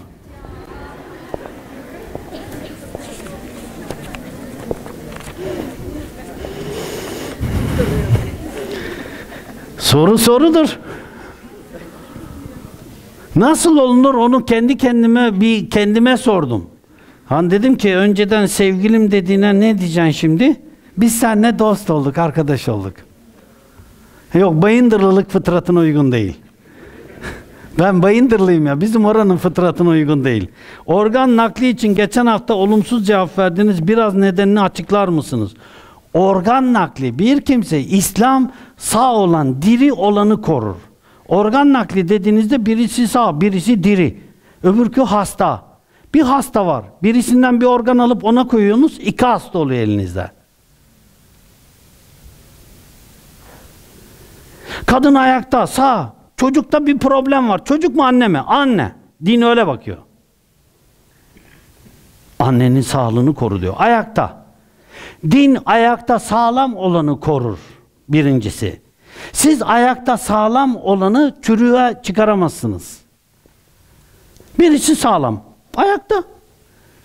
Onun organını alıp bir başkasına vermek iki hasta insan yapmak. Bu bir. İkincisi biraz açın diyor. Öldüm ben.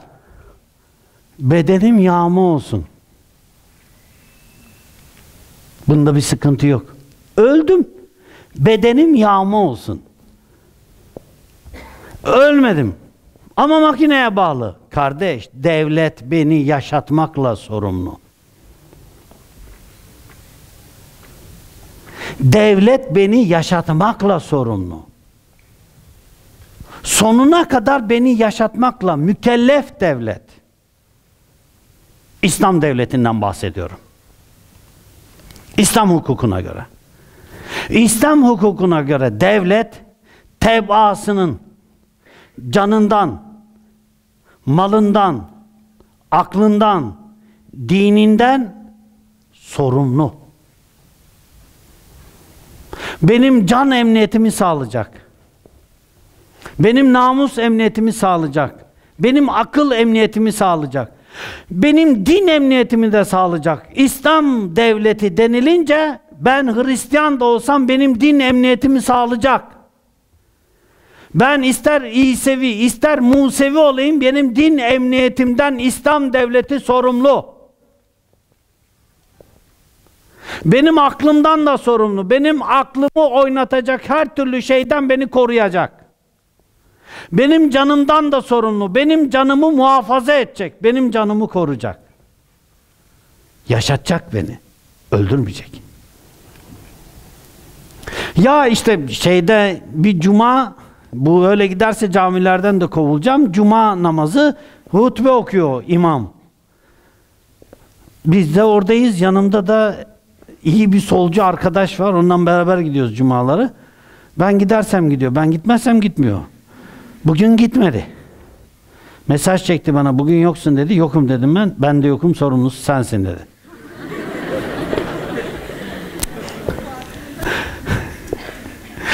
Tekke sohbetlerini dinleyenler böyle Arabi'den Marabi'den bir sorular soruyor ya manzume şeklinde. Soran o. Neyse o da yanımda. Zaten bir gün ne söylüyor hutbede? Baca ne o? Doğalgaz bacalarının temizlenmesi. Allah'ım canıma tak etti. Dedim hoca yeri mi? Bana ne dedim milletin sobasından, bacasından dedim. Camide, hutbede bu mu okunacak? Hoca baktı. Ben. Yönünü çevirdi. Haklısınız sayın cemaat dedi sevgili cemaat. Bunlar buranın yeri değil ama dedi. Bizim elimizi tutuşturmuşlar. Biz de okuyoruz dedi. İyi bu, bu haftayı geçirdik. Yanın ona dedim ki ya beni getirme dedim buralara. Bir gün dedim yani ben dedim kalkacağım hutbeden indireceğim adamı aşağı dedim. Ya dedi ben kendimi dedi anarşist görüyordum sen daha fazla anarşistmişsin dedi. Dedi ki vallahi senin yüzünden benim başım belaya girecek dedi bana. İstersen gelmesen dedim. Bir hutbe organ nakli. Organ nakli ile alakalı ho hoca okuyor. Elim dedim hocam ölünce mi nakli fetva veriyor? Ölmeden mi fetva veriyor Diyanet? Bu dedim tıbbi ve hukuki ölümün kararını veren kim? Diyanet fetva veriyor şimdi. Tıbben ve hukuken, önceden tıbbendi, şimdi hukuku da koydu. Tıbben ve hukuk, hukuken öldüğüne karar verilirse organlarını yağmalayabiliriz. Kim verecek hukuken bunun kararını? Adam nefes alıyor, kalbi çalışıyor. Hukuken kim ona ölü hükmünü verecek? Bana birisi desin ki yanlış yapıyorsun. Bir kimse nefes alır verirken, kalbi çalışırken ben onun övdüğüne hükmederim.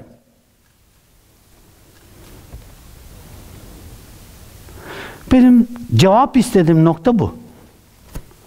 Organ nakline o yüzden buna cevap bulamadığımdan dolayı kafamda bu var. Ben karşıyım diyorum. Açıkça da söylüyorum. Herhalde bir gün Diyanet beni hesaba çeker.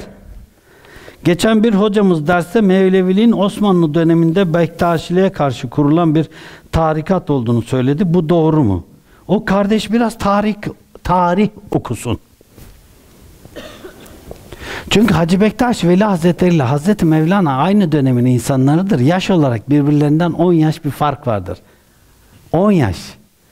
Ve ikisi de tarikat olarak değildir daha yeni kurulduğunda.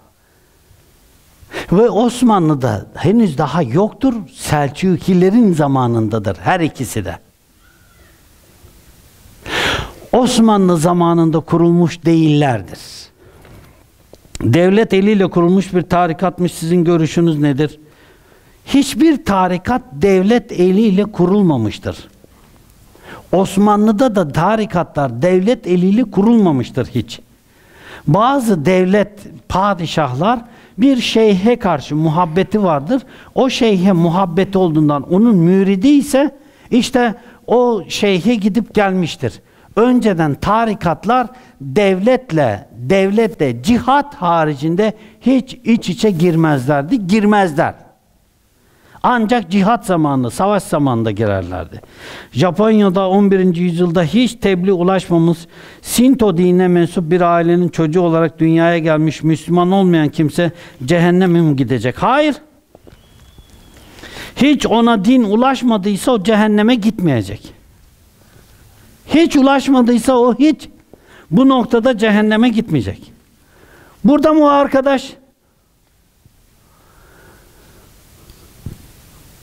Siz misiniz? Siz Japonya'da mı dünyaya geldiniz? Muhakkak vardır. Diyecektim ki tanıdığın varsa gönder yanıma. Evet. Din anlatalım ona. Sıkıntı yok. Sürekli kendini anlatırken ben kelimesini çok çok kullanan insan sizce nasıl bir kişilik içerisindedir? Bu ikili ilişkilerde ise kendini methetme ve iyi olduğunu gösteriyorsa sıkıntılı. Ama günümüz dünyasında bir ben egosunu satmak var ya bunun hastalığına tutulmuş bir kimse ise tavsiye edilebilir. Ama bu konuda böyle çok e, bilinçli bir şekilde bunu kullanmıyorsa herkes gibidir o. Herkes gibi ise o normalde bir e, bu noktada toplum eğitimi bu noktada onu almış. Böyle insanlara nasıl konuşmaları, nelere dikkat etmeliyiz? E, bu noktada ben olgusunun yerine böyle daha güncel şeylerde biz olgusu yerleştirilebilir. Kız ile erkek arasında dostluk olur mu? Hadis-i şerifte der ki ateşle barut yan yana durmaz. Arkadaşlar ben İzmir Bayındırlıyım. Benim bir din eğitimim kendimce kendi okudum. Ben klasik eserleri okuyaraktan ilk zamanlarda okudum. Ardından Şeyh Efendi ile tanıştım. Cenab-ı Hak nasip etti. Benim din eğitimim klasik eserler ve şeyhim. Ve işte kendi hayat tecrübem var kendimce. Ve bir de yaşadığım yerin kendine ait bir karakteristik özelliği var. O karakteristik özellik tırnak içerisinde bayındırlılık. Bizim orada, bizim kazada bir kadınla bir erkeğin yani böyle evlenme çağına gelmiş bir kimsenin öyle dostluğu filan olmaz. Yani yol bellidir, sonuç bellidir. Beş dakikalık, bir dakikalıktır. Orada iş yerindedir. Merhaba merhaba o kadardır. Daha fazla ileri gitmez. Buna eyvallah. E yani normalde insanların şimdi erkeklik ve kadınlık duyuları ve duyguları da önemli bunda. Ben kendim gibi görürüm her şeyi. Ben kendim gibi gördüğümden dolayı derim ki ya bu nasıl bir dostluk? Yani mesela Hanefiler demişler ki evlenme görüşmesi yapan kadınla erkeğin birbirlerine şehvetle bakmaları caizdir. Şimdi bir erkek yanında güzel bir kıza şehvetle bakmıyorsa vallahi büyük imtihan, büyük başarı. Kimdir böyle bir kimse tanımak isterim. Ondan ders alalım kendimize, mürşid edelim onu. Evet. E bir erkek ona şehvetle bakmıyorsa hiç, e kadın kadın olarak görmüyor. Kim bu? Üniversiteye giden 22 yaşındaki adam.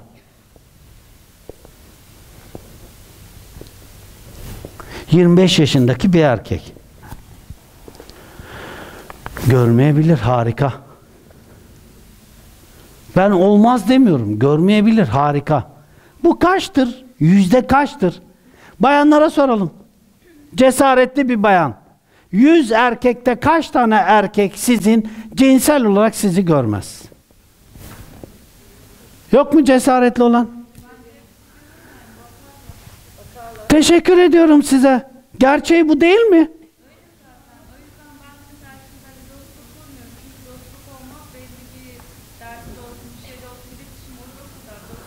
Bu kadar. Doğrusu bu. Biz o kadar insancılız ki bütün Müslümanlar hayvancıl. Neden? Sen olmaz diyorsun. Ya kardeşim bunun fıtratı var. Teşekkür ediyorum.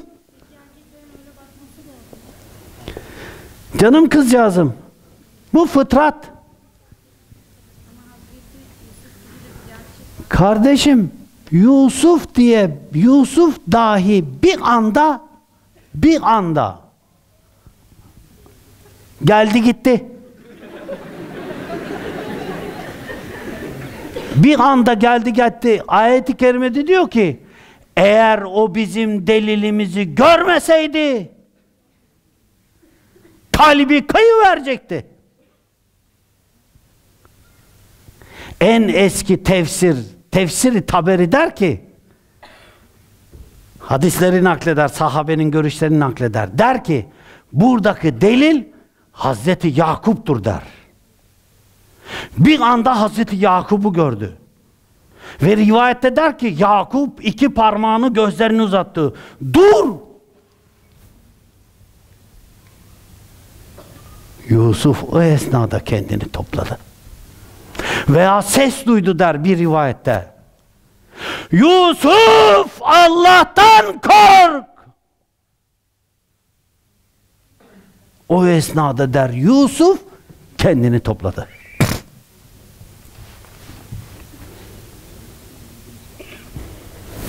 Evet.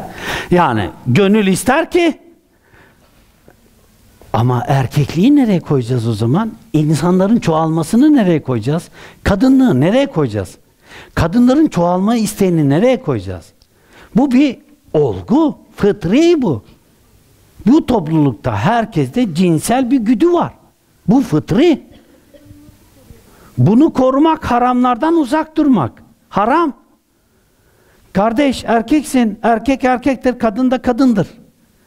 Merhaba merhaba. Dersteyiz. Kalem ver, al kalem. Silgi ver, al silgi.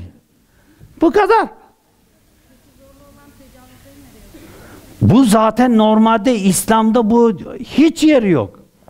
İslam'da zorla tecavüz normalde kadını otomatikman temize çıkarıyor. Diyor ki o kirli değildir, tertemizdir.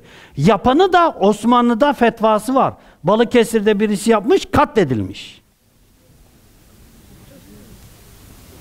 En son Osmanlı döneminde bununla alakalı fermanlar var, hukuk var. Osmanlı'da zorla tecavüz edenler katledilirdi. Bizde hukuk yok ki. Tecavüz ediyor, beş sene sonra elini kolunu sallaya sallaya gidiyor. Bizdeki hukuk hukuk değil.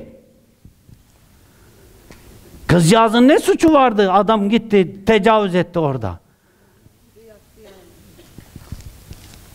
Bir af çıkaracaklar, çıkacak. Tecavüzü tesbih sallaya sallaya çıkacak. Benim annemin halasının oğlu var. Annemin halasın, pardon, annemin dayısının oğlu. dayısı Yunan'ı denize dökenlerden. Efe. Benim anne dedem Efe denize dökenlerden. Böyle söyleyince rahatsız oluyorlar Yunan kardeşliğini bozuyorsun diye. Bir vatanını korumuşlar. Damat ve kayınçolar dağa çıkmışlar, Efe olmuşlar, Yunan'ı kovmuşlar, Yunan'ı dökmüşler denize. Dedemden liseliler, ortaokullar gelir o günleri anlatırlardı. Dedem titreye titreye anlatırdı. Dedemin de etrafında kızanları var. Zengin aile eşrafı. Velhasıl kelam işte bu adamların oğlu cezaevine giriyor bir şekilde. Cezaevinde de okur yazar, ortaokul mezunu işte bilmem ne orada dilekçe yazıyor. Kadının bir kızın dilekçesi e, cezaevine girmiş tekrar. Dilekçeyi yazan da benim o e, annemin dayısının oğlunun dilekçesi. O anlattı ağlaya ağlaya bana. Ben dedi bir dilekçe yazdım. Yazmış. Sayın Hakim Bey, köyde bana tecavüz eden filanca kimse buraya cezaevine geldiğinde siz onu şu kadar ceza ile cezalandırdınız. O şu afla tekrar dışarı çıktı. Tekrar dışarı çıktıktan sonra köyün kahvesine gelip bana laf uzatmaya ve bana laf atmaya başladı. Ve bana tekrar sarkıntılık yapmaya başladı. Bana sarkıntılık yapmaya başlayınca, beni rahatsız etmeye başlayınca ben onu evimin önünde, evimizin önünde av tüfeğiyle vurmak zorunda kaldım. Şimdi katil ben miyim, sen misin?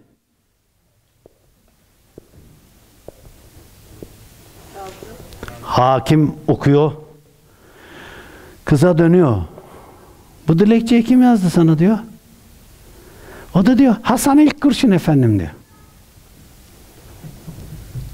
Çağırın cezaevinden Hasan ilk kurşunu. Cezaevinde mahkum.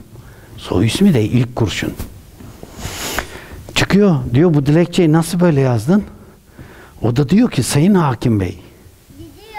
Bu kız diyor tecavüze uğramış. Köyde.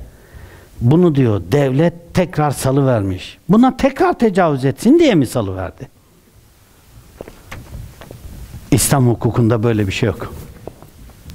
İslam hukukunda kısas var. Öldürürsen öldürürler. Tecavüz böyle insanların içerisinde olağan haline geldiğinde devlet karar alır. Öldürün. Bir tanesini öldürürsünüz.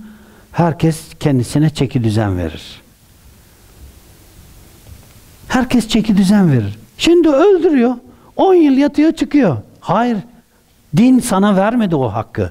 Din öldürülenin ailesine verdi. Bir, öldürtebilir onu. İki, diyet isteyebilir. Üç, affedebilir. Allah diyor ki affetmek daha iyidir. Ama o öldürenin, o öldürülenin ailesine sorulacak. Ona sorulacak. Devlet olarak sen affetme hakkın yok. Annem yıllar önce Cumhurbaşkanı'nın kendisinin altın kalemini verdiğini görmüştü. Ha rüyasında.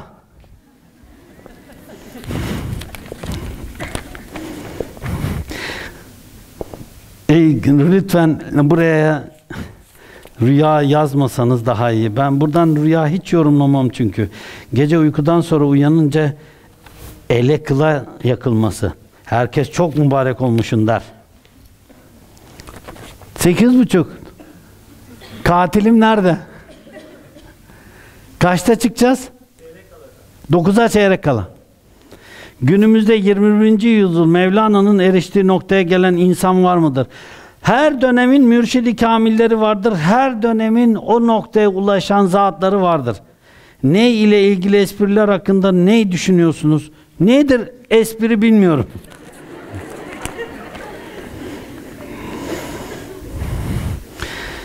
Hadis-i şerifte buyuruluyor ki bir kimse eğer başka birini Allah için seviyorsa onu ona Allah için sevdiğini söylesin diye buyurulur. Buna binaen ben de yaklaşık 6 yıldır birini seviyorum ama söyleyemiyorum.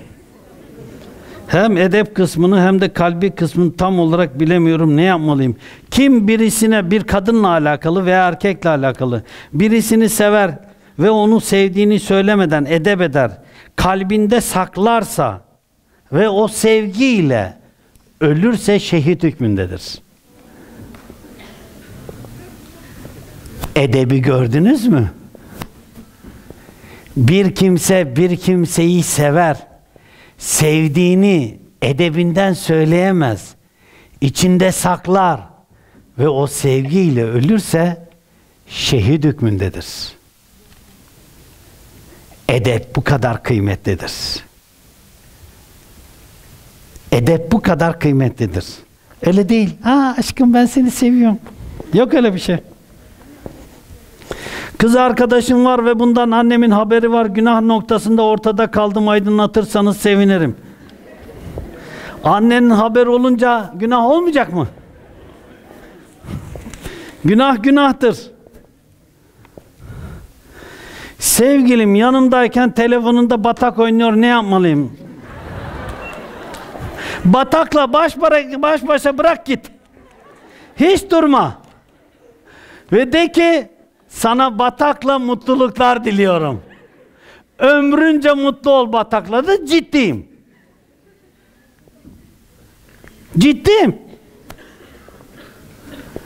Aslında seni seviyorum diyeni imtihan etmesini bilmiyorsunuz siz.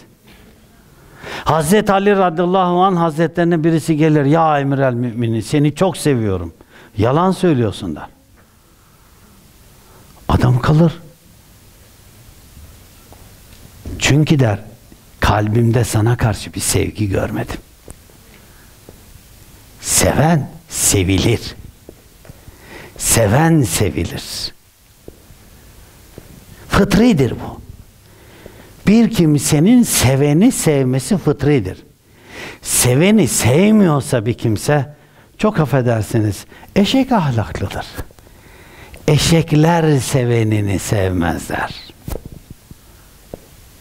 İnsanlar sevenini sever. Gerçekten seviyorsa sever. Ama biz böyle bu gerçekten seven prototipini görmediğimizden biz etrafımızdaki birisi ha çok seviyorum deyince ha çok sevmek çok seviyorum demekle oluyormuş diyoruz. Birisi çok seviyorum deyince ha demek ki sevmek bu. Çok seviyorum deyince çok sevdi. Ben çok basit şeyler söylüyorum. Biri diyor çok seviyorum maşallah. Buluta bak bakayım diyorum ben. Bakıyor ne gördün? Bulut diyor. Ha beni görmemişsin diyor. Nasıl yani? Seven sevdiğini baktığı yerde görecek.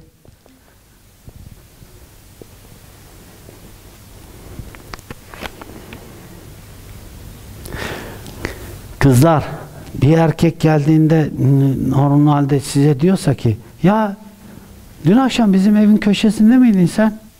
Hayır. Yok evin köşesindeydin. Hayır. Şimdi adamlar şimdi kopya alacaklar buradan. Yarın söylemeyin geçti. Hayır ya ben ne bileyim seni evin köşesinde gördüm sanki ya. Ah zavallım hayalliyor. Her yerde görüyor sevdiğini.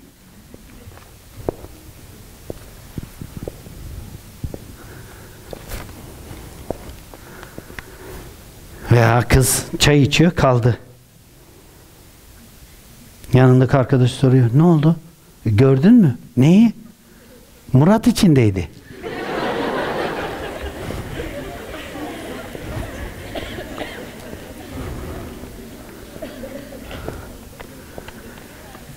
Arkadaşı duyuruyor. Aa, yok. Normal değil. Murat arıyor. Murat. Ne oldu? Arkadaşım yanlış anlama benim arkadaşım kafeyi yedi. Ne oldu? Çayı içemedi seni gördü çayın içinde. Kızlar sakın adamlar oyun yapmayın buradan kopya çekerekten. Adamları gaza getirmeyin. Sonra bir eskiden rüyamda uçardım, göklere yükselirdim. Şimdi ise hiç rüya görmüyorum. Neden? Cevap veriyorum, bilmiyorum. Namaz kaza borcumuz var. Ara sıra ikindi ve yatsı namazının ilk sünnetleri yerine kaza kılabilir miyiz? Evet.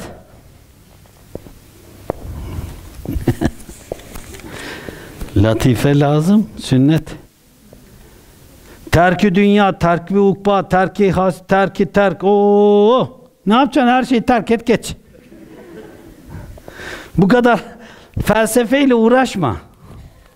Bunların hepsi de gözünün gördüğü her şeyden fazla Allah ve Resulünü sev. Terk bu. Bütün her şeyin içerisinde sen Kur'an ve sünnet dairesinde dur. Terk bu. Haram işleme. Mevlana ve Şems ile karşılaştıkları zaman Hazreti Şems Mevlana'ya ilmin gayesi nedir Şems? İlmin gayesi maluma ulaşmaktır Mevlana. Diyaloğu geçti mi? Yanlarında değildim bir bakayım. İnsanı kamil risalesi hediye ettiğiniz ateist ne oldu? Haberleşemedik uzun zamandan beri. Önümüzdeki Müslüman alemi önü, önümüzdeki Müslüman alemi hakkında ne düşünüyorsunuz? Kur'an ve sünnetten uzak bir hayat yaşıyorlar ve dünya emperyalistlerinin elinde oyuncak olan örgütler, ülkeler, halklar var. İslam alemi paramparça. Emperyalist ülkeler İslam alemlerinin içerisine terör gruplarını yerleştirerekten İslam alemlerini, İslam alemini bölüp parçalayıp yönetiyorlar. Bu noktada da kendi emellerine ulaşıyorlar. İslam dünyası ne yazık ki Kur'an ve sünnet dairesinde duramıyor. İslam dünyası ne, ne yazık ki şahıs perestlik, parti perestlik, cemaat perestlik, tarikat perestlik, şeyh perestlik hastalığına tutulmuş vaziyette. Herkes benim mezhebim, benim tarikatım, benim cemaatim, benim şeyhim diyerekten bölüm bölüm bölünüyor. Bunlar bir zenginlik olarak görülüp de bütün herkese gönlümüzü kalbimizi açsak ama kardeş benim şeyhim filanca desek bu bizim hakkımız. Bir tek bizim şeyhimiz var, bir tek bizim cemaatimiz, bir tek bizim tarikatımız, bir tek bizim cemaatimiz. Bizim bizim bizim bizim dememiz yanlış. Bu yüzden dolayı bölüp parçalanmış vaziyetteyiz. Allah muhafaza eylesin. Rüyada görülen köpek gerçekten düşman anlamında mı? Mevlana'nın hayal felsefesi olarak gördüğü gönüllülük kavramını somut olarak açıklamak gerekirse nasıl açıklanır? Mevlana'nın hayal felsefesinde normalde hayal felsefesi bütün alemi Gönüllülük farklı bir şeydir, hayal felsefesi farklı bir şeydir. Hayal felsefesi Mevlana'nın bütün alemi, bütün varlığı hayal üzerinde yürür görmekten geçer. Bu farklı bir şeydir. Gönüllülük ise bu normalde sufi kavramıdır. Sufiler sufiliklerini ve yaşantılarını gönüllülük kavramı üzerine kurarlar. Seven sevdiğinin gözüne bakarak söylesin diyorsunuz da bunun zina boyutu nerede? Kardeş seven sevdiğini zaten neden zina etsin ki? Alsın nikahına ölünceye kadar gözünün içine baksın. Ölünceye kadar seni seviyorum desin. Seni seviyorum. Bu akşam neredesin? E annemdeyim. Ben neredeyim? Ben de annemdeyim. Nasıl sevmek bu? Ya da ben bilmiyorum bunu. Seven sevdiğinden bir nefes nasıl ayrılır?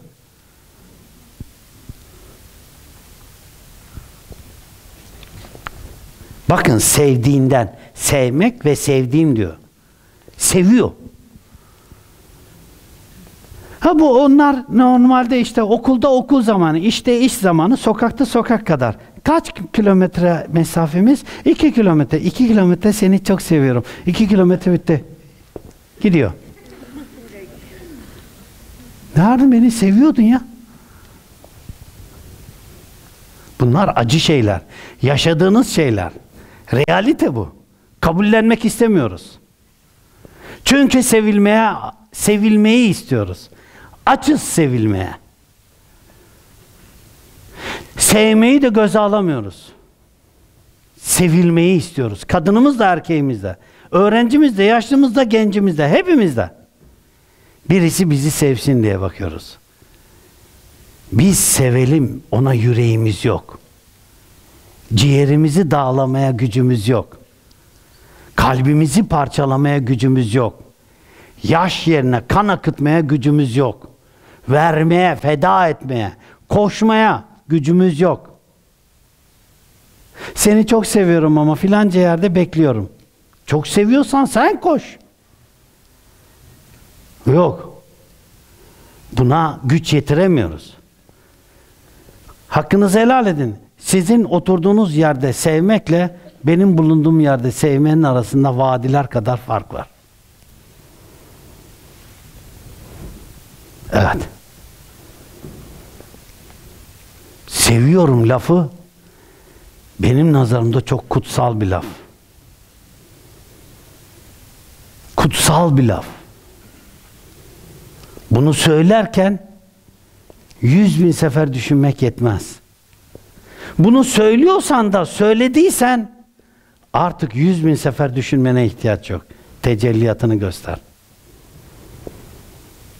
Yazıyor ya.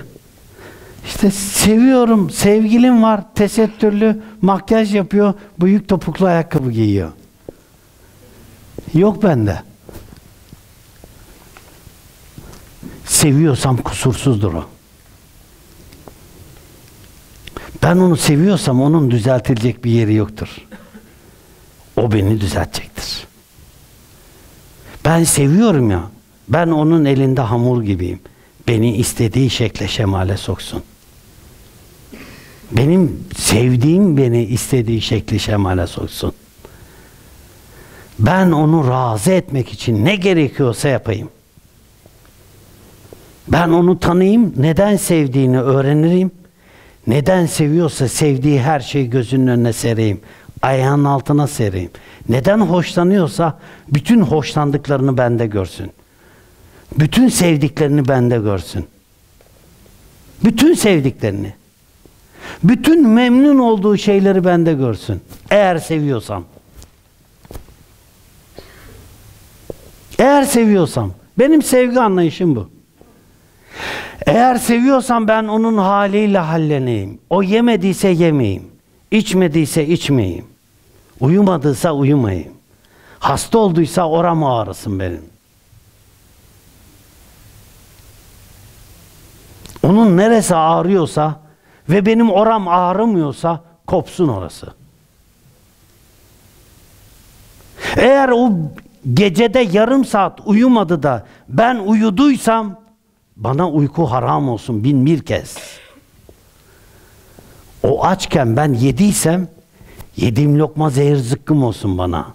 Ve her yediğim lokmada ona da niyet etmediysem her yediğim lokmada onsuz boğazıma geçen bir kaşık çorbada ona ya Rabbi onun da kalbinde, onun da ruhunda, onun da midesinde bunun tadı olsun. Ben ona niyetle içiyorum demediysem o çorba bana da zehir zıkkım olsun.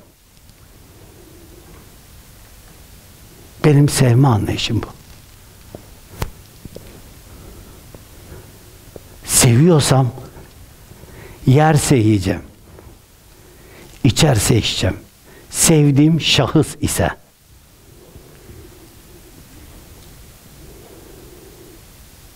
seviyorsam sevdiğim ye derse yiyeceğim. Sevdiğim iç derse içeceğim. Sevdiğim yürü derse yürüyeceğim. Ben seviyorsam sevdiğimden izinsiz ve habersiz nefes dahi alıp vermeyeceğim. Benim seviyorum anlayışı bu. Ben sevilmenin nasıl olduğunu bilmiyorum.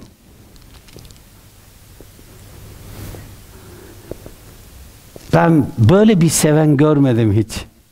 Ben beni veya etrafımda herhangi bir kimseyi böyle bir seven görmediğimden ya sevilmek nasıl bir duygu acaba dediklerinde bakıyorum ya bilmiyorum ki diyorum sevilmek nasıl bir duygu. Böyle bir seveni olsa bir kimse sevilmenin tadını yaşar herhalde. Öyle değil mi? Siz hiç böyle seven gördünüz mü etrafınızda?